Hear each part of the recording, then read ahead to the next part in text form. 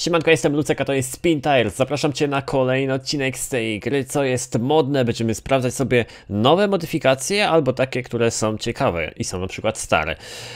Tak, na szczęście Spin Tires działa już poprawnie, nie kraszuje mi się jak ostatnio po kilku sekundach po wbiciu do gry. E, udostępniłem taki poradnik na moim kanale, gdzie tłumaczę jak naprawić tę grę, ale okazuje się, że a, zaraz wam opowiem. Najpierw wybierzemy sobie pojazd. To będzie dzisiaj lokomotywa i e, weźmiemy sobie wulkan. Przetestujemy ten pojazd na wulkanie, tylko muszę go najpierw jeszcze raz wybrać. Myk i tutaj wybieramy sobie żadnych pojazdów. Ok. No więc e, o co tutaj chodzi? Właśnie co się stało ze Spin Tires do diabła? Więc szybko wytłumaczę. E, stało się to, że po prostu twórcy gry się pokłócili, jak to na to wygląda.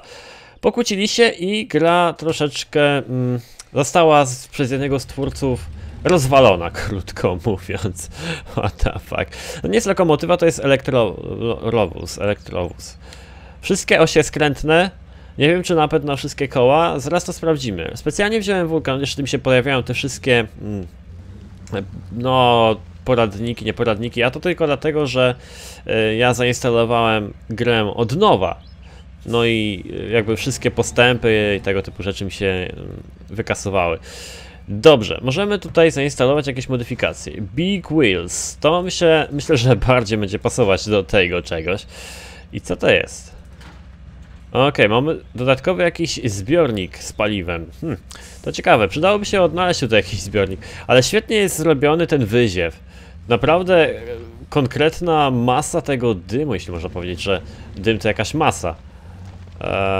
Ręczny mam puszczony, nie da się ruszyć bez blokady dyferencjału. Zablokujmy sobie dyferencjał. Próbuję mniejsze obroty. E, ja wziąłem wulkan tylko i wyłącznie dlatego, bo chciałem sprawdzić jak to coś, jak ten elektrowóz podjedzie pod e, stromy zbocza, ale ja widzę, że to jest tak ciężkie, że ja nie wiem, czy to sobie da radę. Z tymi pojazdami modyfikowanymi jest różnie. Włączyłem sobie napęd na 4 koła, na wszystkie koła, kurde, nie na 4, gdzie tu mamy chyba, ile tu mamy kół? 6, 12, shit. to jest potwór. dosłownie. Kto by zrobił taki pojazd i po co? Jaki on ma sens w Spintails? Nie możemy sobie tutaj podłączyć nic chyba. Wracając do tematu, z tymi modyfikowanymi pojazdami jest... Ale słuchajcie, w środku nawet jest dosyć to fajnie wykończone. Może zmienię kamerę. O, proszę, mamy tutaj widok z kokpitu, jest nasz ludzik. No także całkiem, całkiem nieźle to jest wykonane. No, ale z tymi modyfikacjami jest tak, że na przykład na jedynce one słabo jeżdżą, słabo przyspieszają albo w ogóle. A gdy na przykład wrzucimy sobie, mm, nie wiem, dwójkę, to z samochodem, czy tam czwórkę, czwórkę nawet, to z samochodem czy pojazdem dzieją się różne dziwne rzeczy. I e, ja nie wyobrażam sobie, jakby taki ciężki pojazd mógł się zatrzymać na jakimkolwiek drzewie. No ale to jest Spin Tires i wiemy wszyscy doskonale, że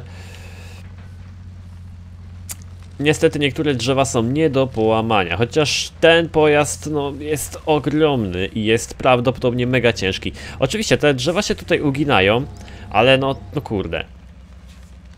Jednak to nie jest to, no nie? Chcielibyśmy, aby jednak się łamały. Te małe drzewka oczywiście, krzaczki jakieś, one się tutaj poddają bez problemu. Ten pojazd ja czuję nawet jak go prowadzę padem, że jest mega ciężki. Um, tam jest... Y, nie wiem, ten wulkan jest chyba w tę stronę. Mogę sobie otworzyć mapkę. Cholera, już zapomniałem jak się gra. Eee, ok, jest mapka. O, nawet sporo terenu jest odkrytego. Wulkan mamy sobie tu. I tu trzeba dojechać, czyli w zasadzie jadę dobrze. Te, to muszę jechać tam. No dobra, zobaczymy czy rozpędza się do jakiejś fajnej prędkości. Tu jest takie drzewo. O! Kurde, nie dało się go rozwalić, ale kusiło, kusiło, żeby tak wjechać, kurde, się połamało. Brakuje tego. Ja ci powiem, że mm, jest tutaj dużo pojazdów nawet dodanych, które są dodane przez twórców, które są mega ciężkie i bez problemu powinny sobie poradzić z takimi oschłymi drzewami, jakie tutaj mamy dookoła w tym miejscu. No, to jest y, koniec świata. Nie wiem, 87 litrów na minutę to coś pali. Także paliwo będzie nam się tutaj kurczyć konkretnie szybko. Mm.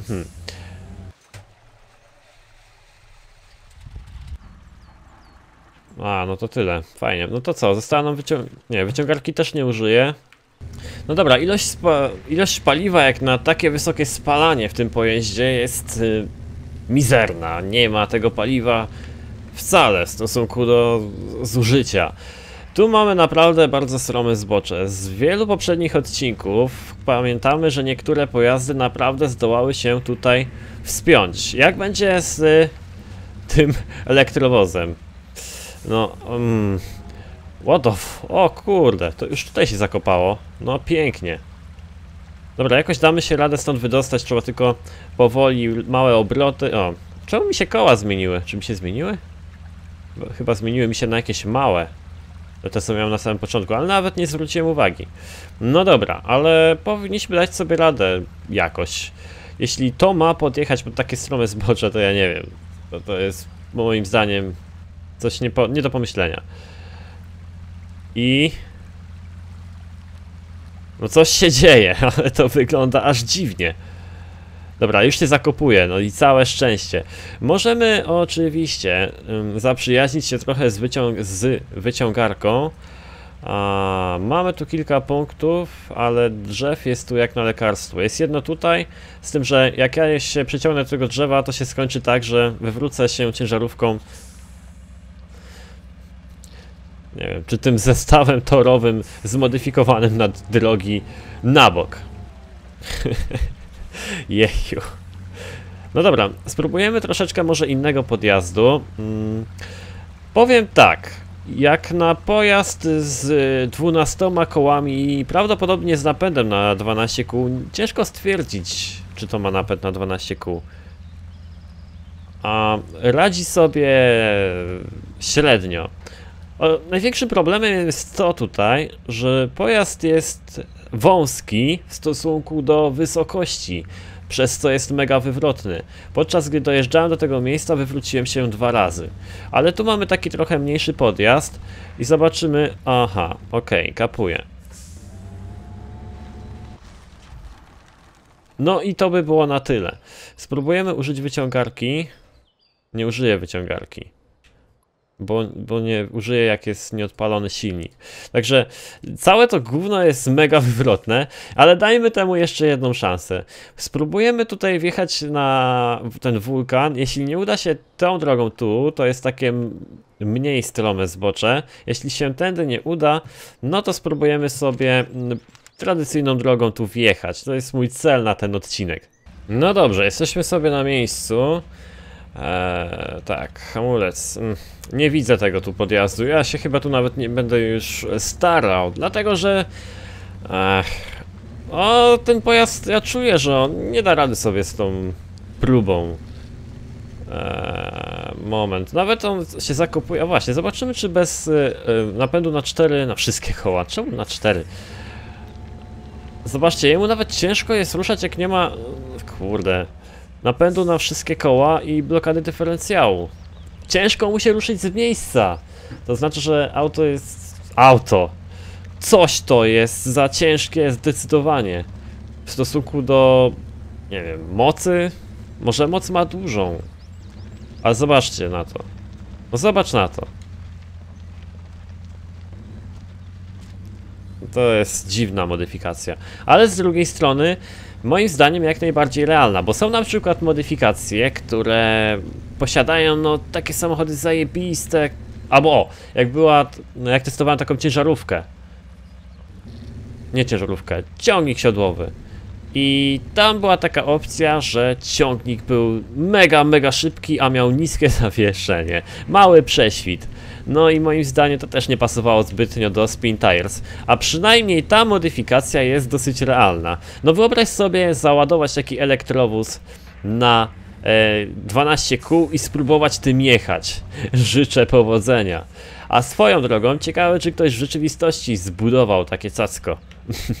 cacko oczywiście w cudzysłowie, bo nie wiem co w tym fajnego. Dobra, spróbujemy jedynkę plus wbić. No niestety, pojawia się inny problem. Zostało mi tylko 36 litrów paliwa. Więc myślę, że powinienem zaraz za moment jechać za tą ciężarówką, czy za tym elektrowozem na kołach jakimś samochodem z paliwem. Ale zwróćcie uwagę na to, jest tu masę takich małych nierówności, gdzie na przykład e, samochód e, sześciokołowy miałby spory problem. A ponieważ te koła tutaj w tym pojeździe są dosyć gęsto ułożone, więc on sobie naprawdę tutaj radzi. Dodatkowo dość duża waga stabilizuje całą konstrukcję, a z drugiej strony też sprawia, że bardzo łatwo jest się zakopać. No i wysokość. Jest zdecydowanie za wysoki ten pojazd do e, pokonywania takich też e, nieprzewidywalnych nierówności jak tutaj. W każdej chwili może nam się ta ziemia tutaj obsypać. Ok, zabrakło paliwa, więc co? E, Spróbujemy zjechać. Nie, nie zjedziemy.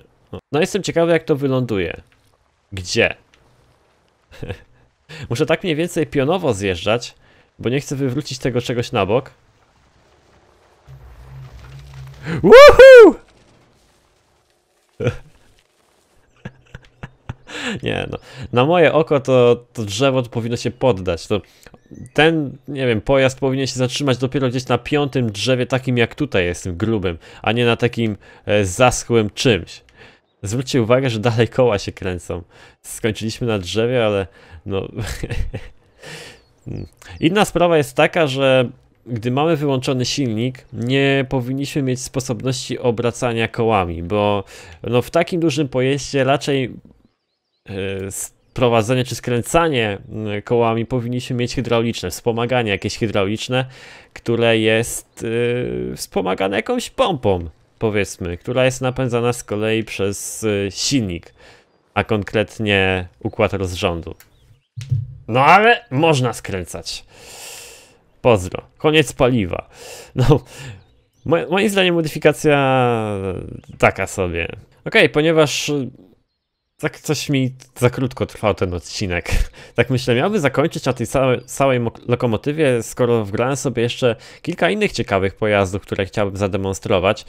I mo the fuck? No dobrze, nie udało się wczytać tej dużej ciężarówki Monster Trucka, ale udało się wczytać coś takiego.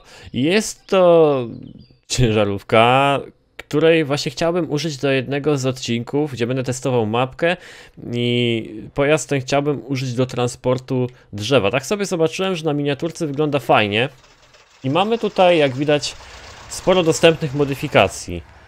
Część z tych modyfikacji jest prawdopodobnie stworzona przez twórców, bo ciężarówka jest chyba dostępna normalnie.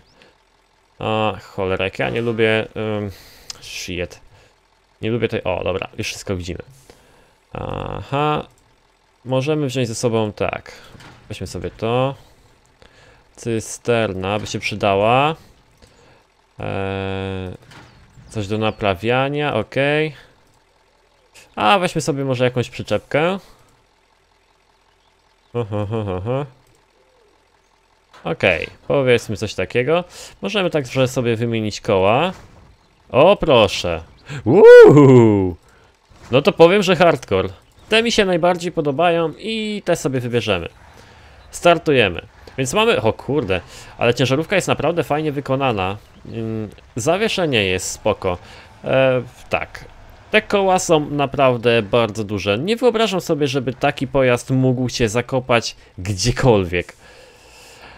No ale okej, dałem tutaj bardzo trudne zadanie dla tej ciężarówki. Przede wszystkim musimy wbić się na szczyt wulkanu, co nie, dało, co nie udało się właśnie wielkiej lokomotywie czy wielkiemu elektrowozowi.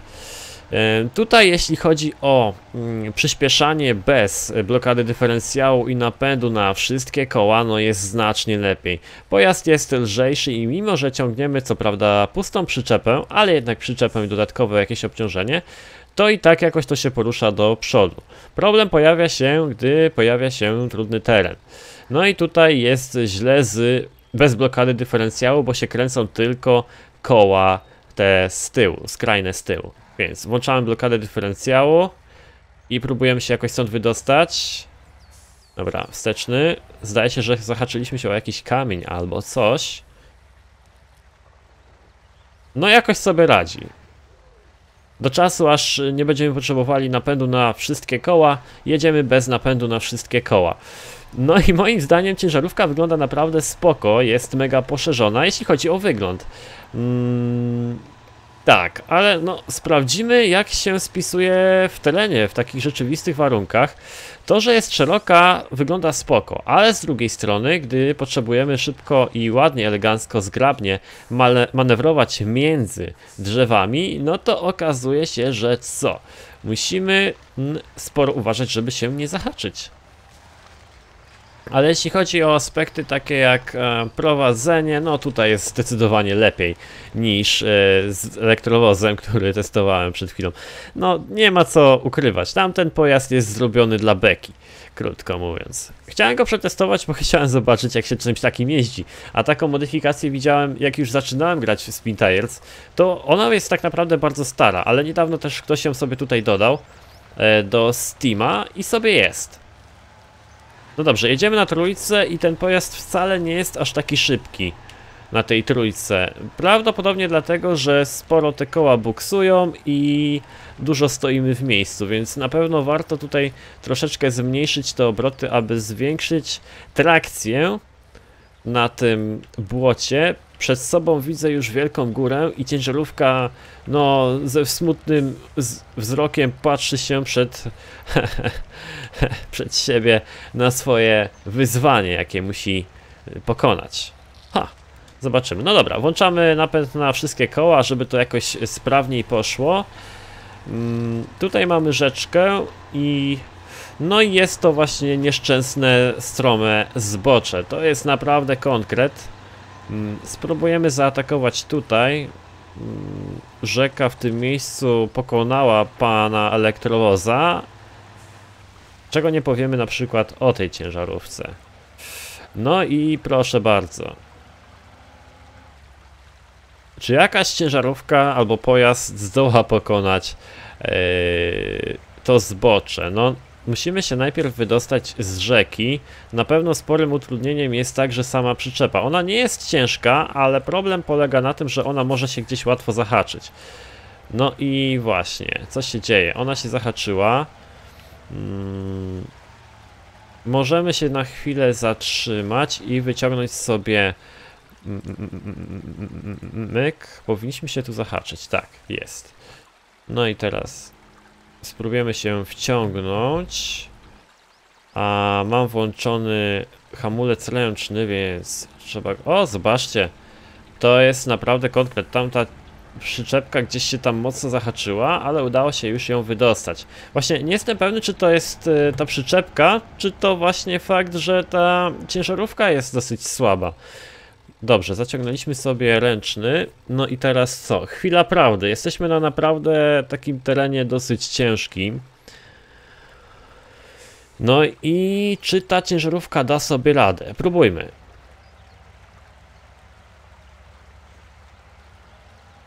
Jeśli nie uda się z przyczepką, spróbujemy bez przyczepki. Już czuję, że powoli koła tracą przyczepność pod ciężarem całego, całej maszyny.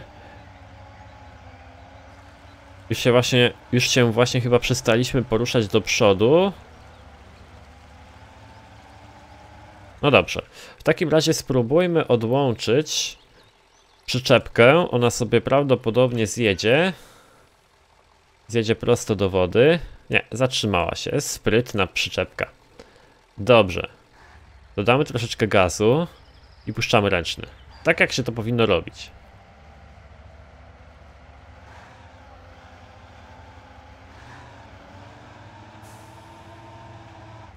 No dobra, zjedziemy kawałek niżej. I teraz.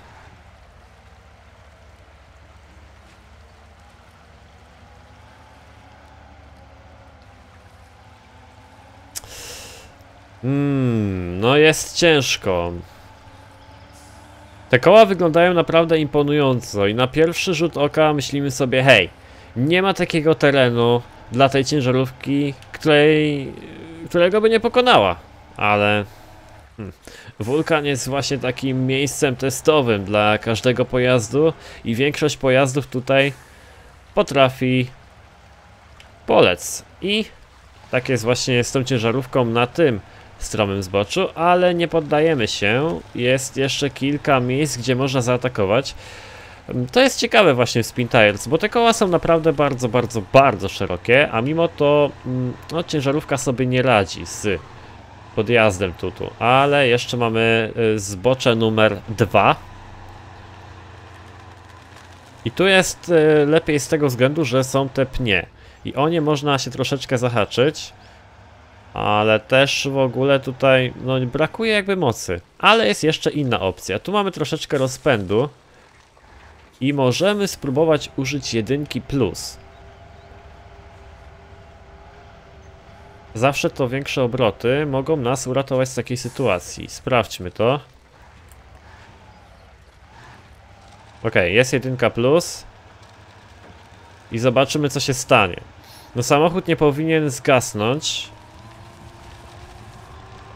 Ale właśnie, te kłody są też tu problemem. I zobaczcie jak szybko pojazd się zakopuje.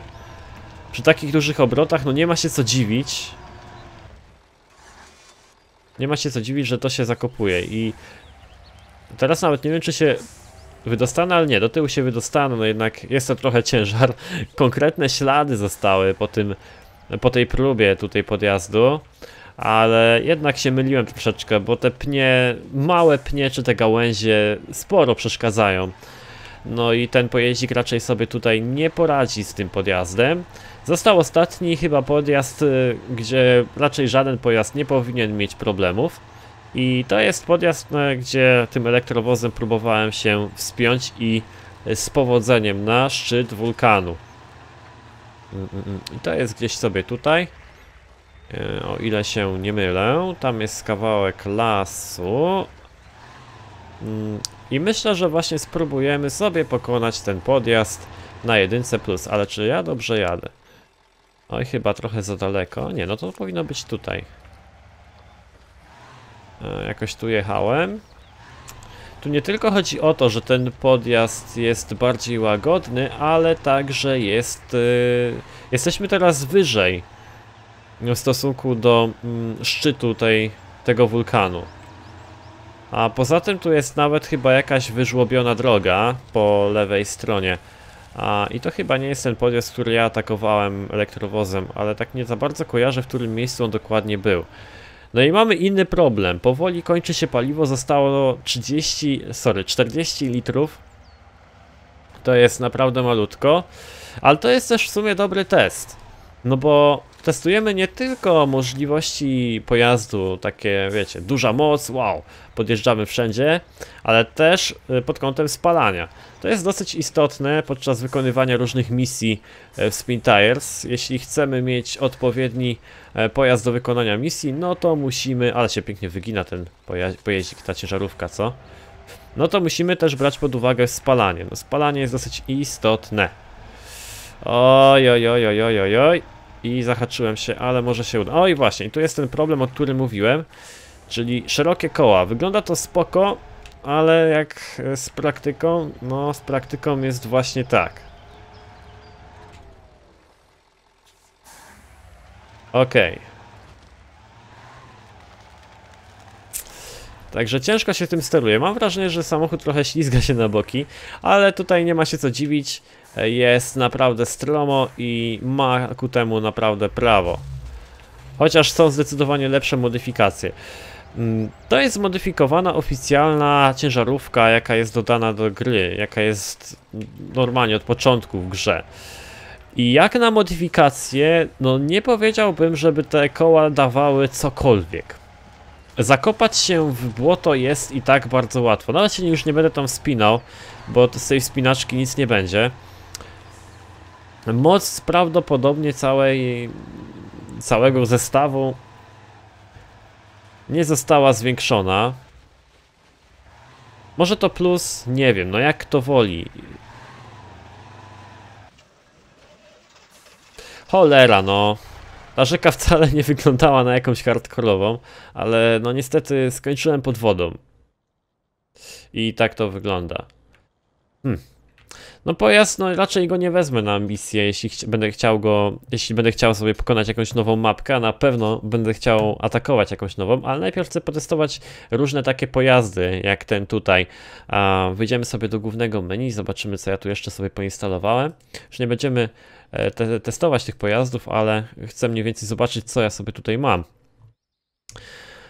No i właśnie chciałem spróbować sobie wybrać na jedną z misji Tatrę 12 na 12 To już jest konkret, ciężarówka, z tym, że użycie jej ma pewne minusy. Co prawda, możemy załadować sobie od razu wszystkie kłody, e, które są potrzebne do zrobienia jednego celu naraz, ale mamy ogromny promień skrętu i to w wielu sytuacjach wyklucza użycie tej Tatry 12 na 12 i właśnie na następne odcinki, nie mówię, że następny będzie właśnie od, y, w użyciu mapki, tak, że będę testował jakąś mapkę, ale gdy będę testował jakąś mapkę, gdzie przyjdzie taki czas i wybiorę sobie właśnie Tatrę na 12 na 12 i jakiś powiedzmy pojazd pomocniczy do nie wiem, transportu paliwa albo jakichś tam elementów naprawczych, no to będę chciał sprawdzić możliwości tej ciężarówki w różnych środowiskach, w, na takich zakrętach ostrych, takich bardziej gładkich, w różnych terenach.